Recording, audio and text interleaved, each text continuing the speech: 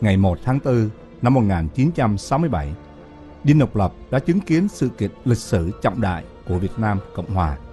Đó là ngày Quốc gia Việt Nam đón chào hiến pháp đệ nhị Việt Nam Cộng Hòa do Trung tướng Nguyễn Văn Thiệu, Chủ tịch Ủy ban lãnh đạo quốc gia công bố trước quốc dân đồng bào.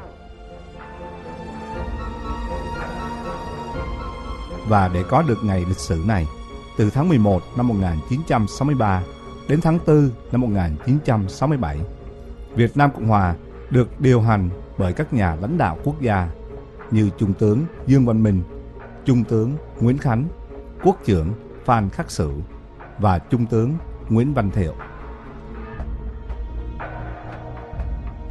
Riêng với Trung tướng Nguyễn Văn Thiệu, ông đã đảm nhận vai trò nguyên thủ quốc gia từ ngày 19 tháng 6 năm 1965 qua chức danh Chủ tịch Ủy ban lãnh đạo quốc gia. Cũng trong ngày lịch sử này, thay mặt quân lực Việt Nam Cộng Hòa, Trung tướng Nguyễn Văn Thiệu đón nhận trách nhiệm mà quốc gia giao phó trong bài hiệu triệu phát đi từ hệ thống truyền thanh. Thưa quốc dân đồng bào, Tổ quốc đang lâm nguy. Tại tiền tuyến, những cuộc tấn công của Cộng sản xâm lăng trên khắp các mặt trận càng ngày càng dồn dập và khốc liệt. Chúng ta, con cháu bà Trưng, bà Triệu, Trần Quốc Tuấn, Lê Lợi, Nguyễn Huệ, chúng ta ai nấy đều mong muốn được góp phần mang lại một ngày mai tươi sáng cho dân tộc ngay chính quyền dân sự trước tình thế rối loạn không giải quyết được cơn khủng hoảng đã trao lại quyền lãnh đạo quốc gia cho quân đội. Quân đội không có quyền trốn nhiệm vụ. Quốc dân đồng bào, cùng nhau chúng ta cải tạo xã hội này, xây dựng một nước việt nam mới.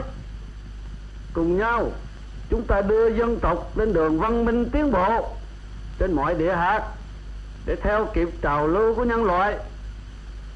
Chúng ta có bổn phận phải để lại cho thế hệ mai sau những trang sử sáng chói, những cơ cấu bền vững, xây dựng trên nền tảng tự do, công bằng và nhân ái.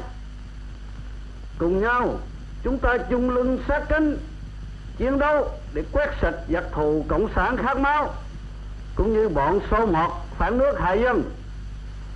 Chúng ta hãy cùng nhau nỗ lực, cùng đổ mồ hôi, cùng góp xương máu để củng cố hậu phương để giữ chủ động trên chiến trường làm tròn bổn phận mà lịch sử đã giao phó cho thế hệ chúng ta. Tổ quốc việt nam trường tồn dân tộc việt nam quyết thắng. Cách mạng xã hội thành công. Là Tổng tư lệnh quân lực Việt Nam Cộng Hòa, Trung tướng Nguyễn Văn Thiệu rất lưu tâm đến chương trình huấn luyện quân sĩ tại các trung tâm huấn luyện.